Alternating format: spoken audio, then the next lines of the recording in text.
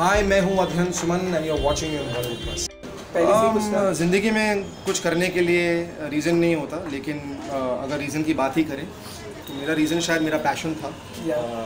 Singing को लेकर music को लेकर और एक ऑर्गेनिक प्रोसेस था कि गाना बना और अ, आज ये गाना बाहर आया है। सो ये कुछ मतलब इसी प्लानिंग नहीं की थी मैंने इसमें। It's just an organic process it's a very beautiful single I must say and you are looking awesome you. हम पता है एक प्रेस कॉन्फ्रेंस में किसी ने पूछा आपको देखे या गाना सुने? Correct, ऐसा हो गया था। नहीं, नहीं, it means a lot, really. दोनों ही बहुत अच्छा था। तो सारिया नु छड़िया है गाने का नाम।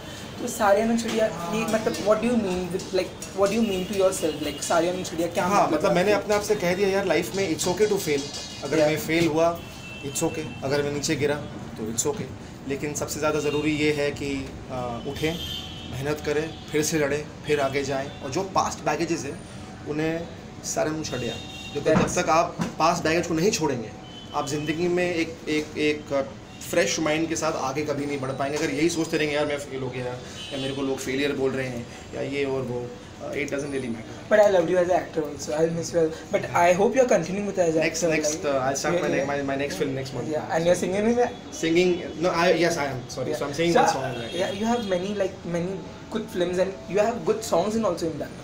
Like Sonyo Yeah, and yeah. ढूँढने को Correct. So any one song that you want to sing from your films? Yeah sure. Sonyu I can sing Sonyo, two lines of Sonyu Yeah. baby come stand by my side.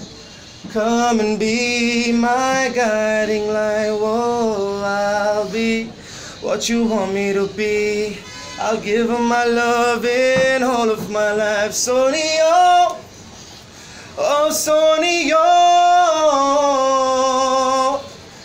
तुम्हें देखता हूँ तो सोचता हूँ, मैं बस यही तुम जो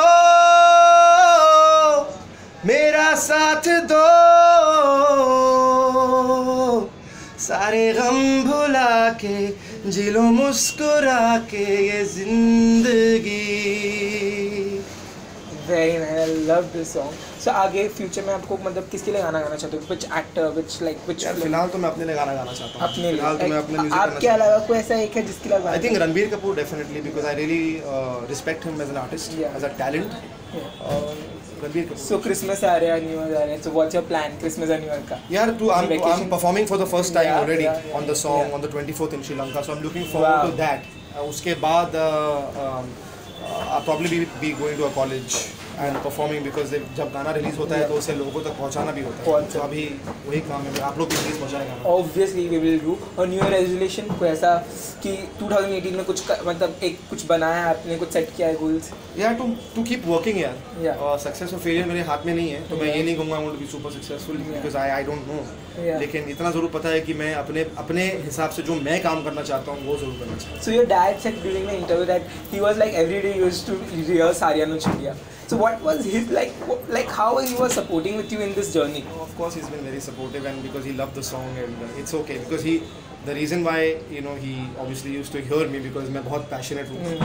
uh, किसी भी काम को लेकर even when I had to go and sing I did not want to not give it my best Yeah. कल उठ के ये ना सोचूं कि मैंने भाई मेहनत नहीं की लाइफ में मेहनत की लाइफ में uh, तो फल भी मिलेगा It was very nice to talking to you.